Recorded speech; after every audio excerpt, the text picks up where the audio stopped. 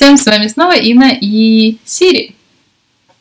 Моя чудесная, очаровательная кошечка. Ну, конечно, она не совсем моя, она кошечка моих друзей, но пока что до 1 сентября она моя.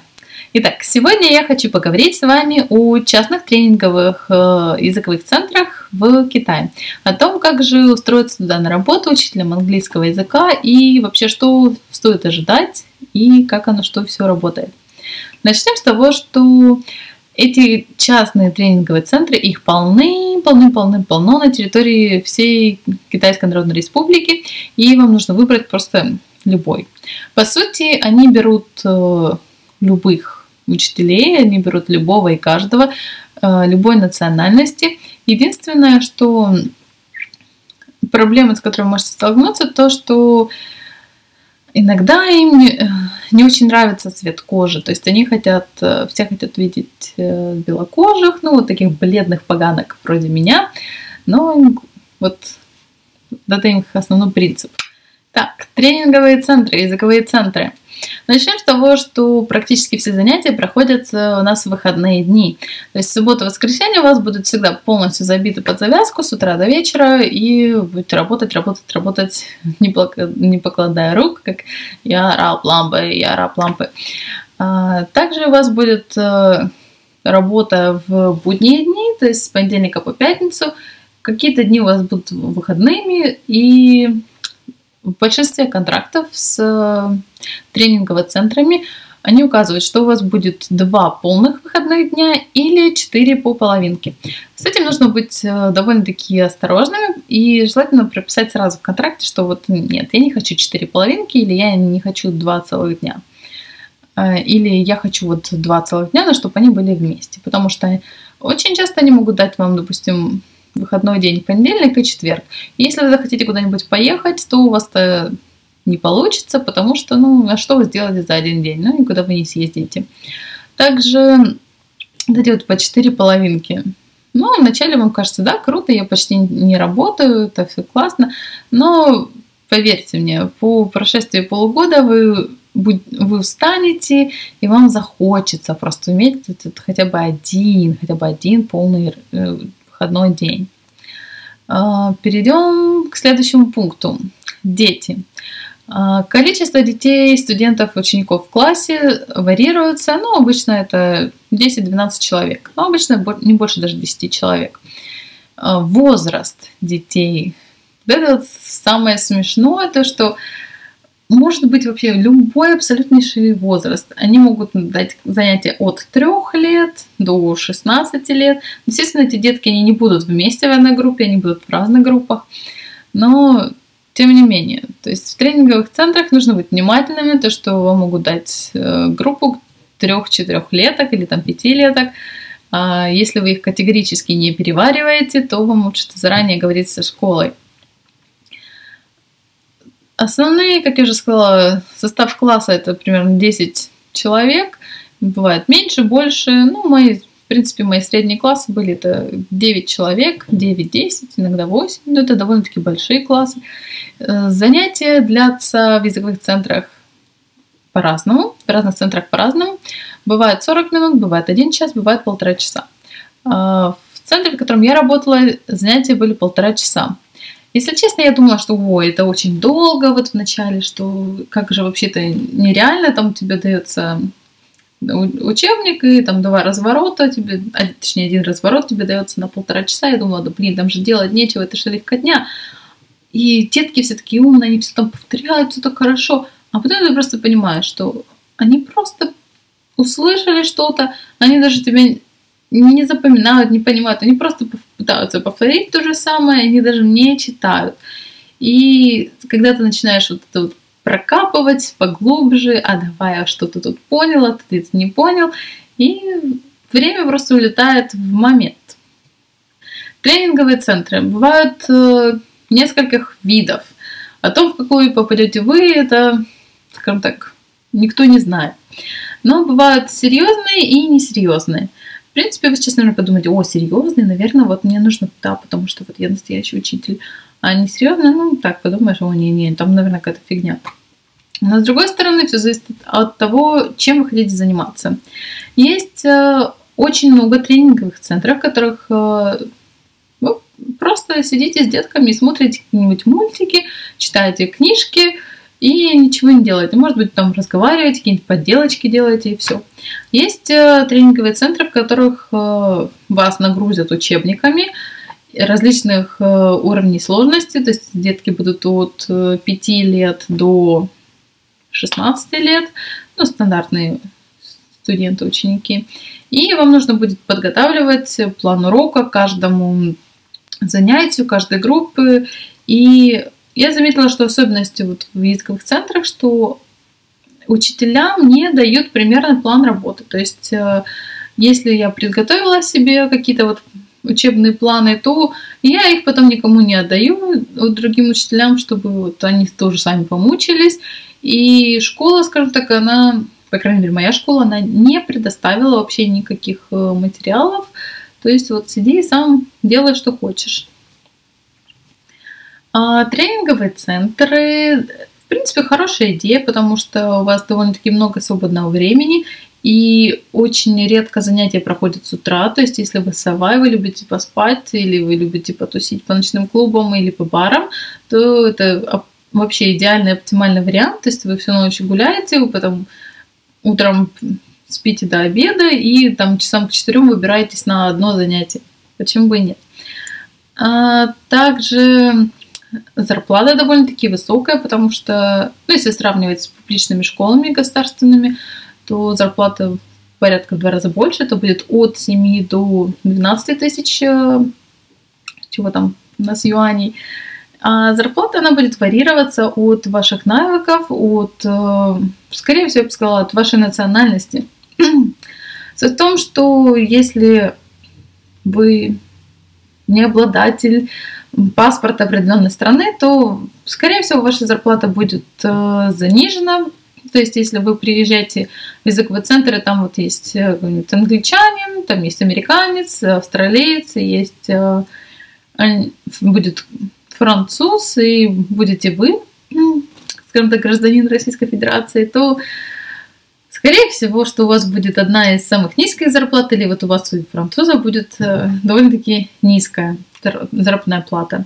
Хочу сказать из своего опыта, то, что в моей школе работала, ну, на тот момент, когда я приехала, а, у нас работали, кто у нас работали, американец, у нас работали поляк, канадец, швед, я русская, э, ЮАР у нас была и Португалия.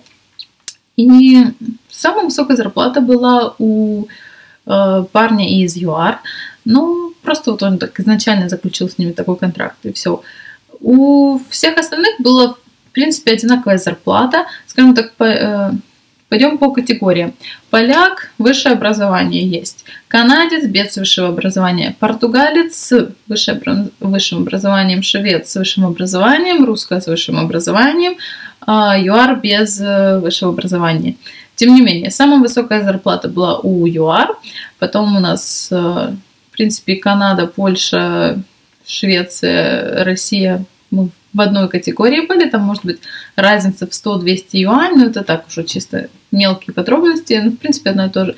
И удивительно как, не знаю почему, но вот у португальца была зарплата вообще минимальная, там что-то около 4-5 тысяч, и я даже так и не понимаю, за что, как, почему и, и как так получилось. Но раз он согласился на эту зарплату, то все, он согласился дома, значит, он будет ее получать, и смысла обжаловать ее уже нету. Вам нужно всегда внимательно читать контракт. А, надо смотреть вообще, что там указано. Если у вас недостаточно часов, допустим, если у вас написано в контракте, что вам платят, ну, например, 7 тысяч юаней за 20 2 часа в неделю, то есть это за 88 часов в месяц.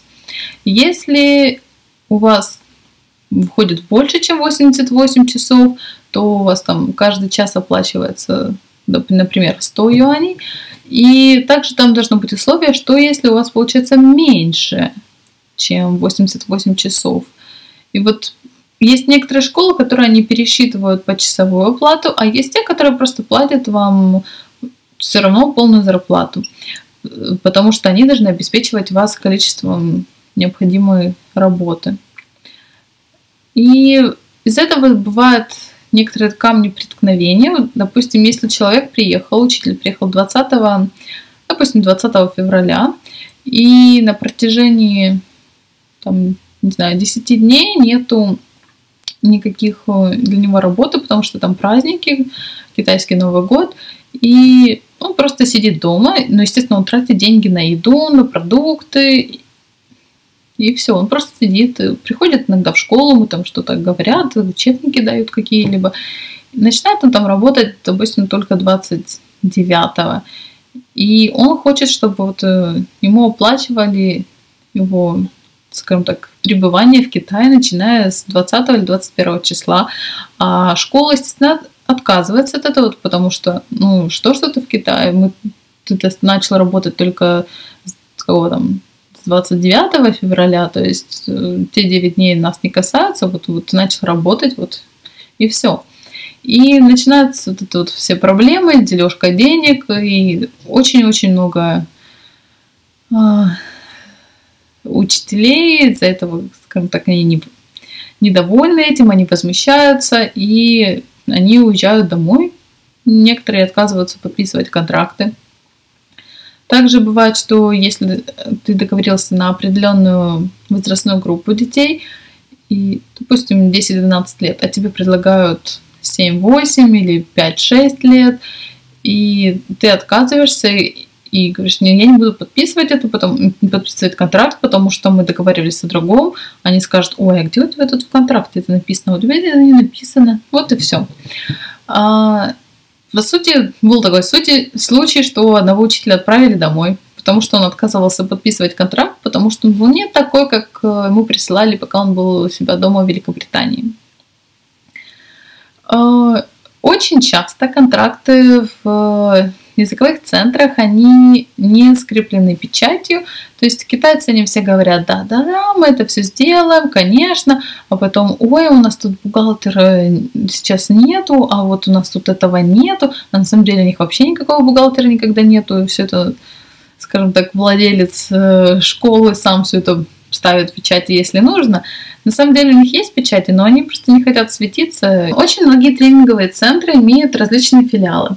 Даже если вот взять один какой-нибудь локальный центр, ну, например, его будет название, какое же будет название, Magic English. Ну, например, это чисто теоретически из моей головы, возможно, такая школа где-то существует, я не знаю.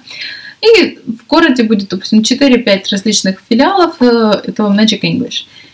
Естественно, что вам придется путешествовать. Ну, может быть, не всегда, но, скорее всего, вам придется ездить, допустим, в понедельник у вас будет в одном отделении занятия, там, во вторник в другом, в субботу в третьем, в воскресенье в четвертом.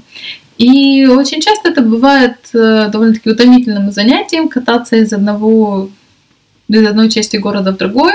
Также в тренинговых центрах, э, помимо ваших э, обычных классов, вам могут дать индивидуальные занятия. И индивидуальные занятия могут быть вообще с абсолютно любым, любой возрастной категорией людей. То есть это может быть э, один на один с пятилеткой, может быть один на один с 50-летней дамочкой, чьей-нибудь там мамой. Это может быть, э, не знаю, даже у меня было такое, что был мальчик, и я его подготавливала к интервью на получение американской визы. Ну, вот, вот так. Ну и сама я там была, в принципе, несколько раз, и я получала эти свои визы, поэтому поделилась с ним полезной информацией. Очень часто в языковых школах вас будут просить о том, чтобы приврать детям о своей национальности. Ну, вот я русская, но их же родители платят за носителей английского языка, то есть за американцев, англичан, австралийцев и так далее. То есть, э, ну, надо вот говорить всем, что э, я американка, что вот это так замечательно жить в Америке. Ну, просто говорить, что я из Америки. И самое смешное бывает, что э, ты вот все сказала, что выбрал Америка, а потом они тебя детки начинают спрашивать, о, из какого ты города, из какого ты штата, о, а я слышала, у вас там налоги есть, а какие у вас налоги? М-м-м. А какой твой любимый фастфуд? О, а какой твой, а как называется супермаркет, в который ты ходишь? Или, о, в каком, институте, в, каком институте, в каком институте ты училась? Ой, а как туда поступить? А какие там экзамены? Ой, а как там в школе? Как там? Ты сидишь, думаешь, блин, ну вот что мне с вами делать? Как бы я знаю, конечно же, какую-то там базовую информацию, даже, ну, если я там была и жила, ну что, но я не смогу ответить на все-все вопросы, потому что, ну, я физически просто их я не знаю, и мне, если честно, даже не интересно это все изучать, потому что ну, я не хочу там жить, например, и я не хочу там работать кем-то, чем-то.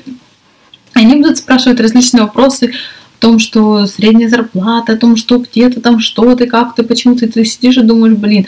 А самое ужасное, когда они спрашивают про историю, бывает, что у них там в школах, они начинают там учить какую-нибудь географию Америки обычно или историю, и начинают про всякие исторические факты спрашивать. Ты думаешь, блин, да я из своей русские-то их особо не помню, потому что у меня с историей не лады.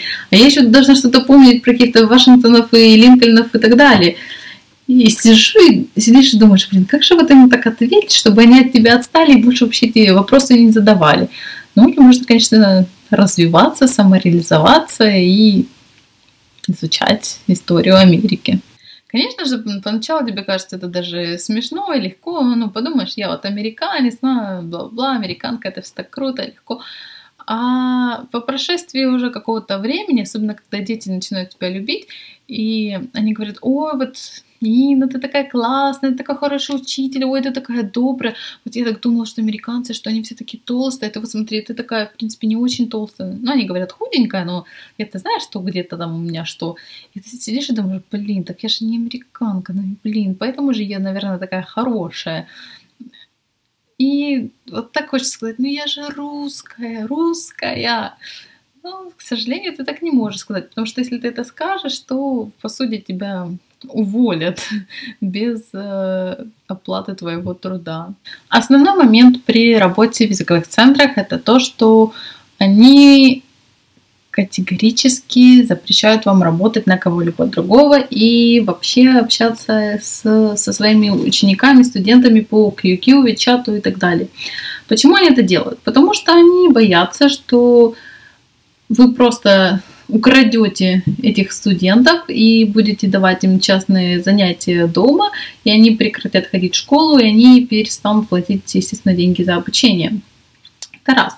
Во-вторых, э, они хотят полностью вас контролировать, использовать вас по максимуму, поэтому если они узнают, что вы где-то там работаете на стороне, то они Могут также с вас взять штраф, и, скорее всего, это будет описано в контракте. То есть для них это выгодно следить, работаете ли вы на стороне или нет. Также по законодательству Китайской Народной Республики это запрещено работать на двух работах. Только если вы как-то вот официально в обеих, в обоих местах зарегистрированы. То есть если вам визу выдала, например, Magic English, а вы работаете еще на English First – то если придет полиция с проверкой, то вас просто могут депортировать. Это не из-за того, что школа такая плохая, а это просто законы в Китае такие. То, что можно работать только в том месте, э, которое выдало вам визу. И даже вот волонтерская вот эта работа, как она так называется, но все равно оплачивается, это все равно нелегально. Даже если э, вы будете не знаю, на какой-нибудь выставке представляется там стенд с машинами, это тоже считается дополнительным заработком, и это тоже нелегально, и вас тоже могут депортировать. А, если вы будете не преподавать английский, а, например, не знаю, в каком-нибудь магазине раздавать тортики, да, просто экземпляры, за это вам будут э, платить довольно-таки хорошие деньги, но школа будет этим недовольна, потому что она может вас продать, в принципе, ну как продать, она тоже может получать деньги за это, она может найти такой же какой-нибудь магазинчик э, и скажем так, сдать вас туда в аренду и тоже получить свои какие-то денежки. То есть они за это все тщательно следят, они это все отслеживают, и, скажем так, вы под неусыпным контролем. Также, если вы работаете в тренинговом центре, то, то что, то, скорее всего, школа вам запретит приводить э, друзей к себе домой. И вот просто, потому что они боятся, что если вы заведете э, себе китайских друзей, то они вам скажут, ой, это место плохое, вы давай, или иди вот туда, мы тебе посоветуем, или если у них тоже есть своя школа, что они тебя переманят, и, то есть они тебя потеряют. Каникулы, выходные, а, что там отпуск и тому подобное. Если вы работаете в частном тренинговом центре, то вы про это можете забыть, потому что ну, у вас этого, в принципе, не будет. Вам не будет предоставляться возможность месячного отпуска. Ну, как в течение месяца, там 4 недельки. У вас будут э, все официальные государственные праздники, например, это китайский Новый год, порядка там 10 дней. Э, в октябре это будет э, день чего там, день стороны или что-то такое, тоже там 5 дней. 1 мая у вас будет выходной, ну, может, там еще какие-то два дня. То есть э, вы можете, в принципе, рассчитывать на 20 где-то дней в течение года, это у вас будут выходные дни.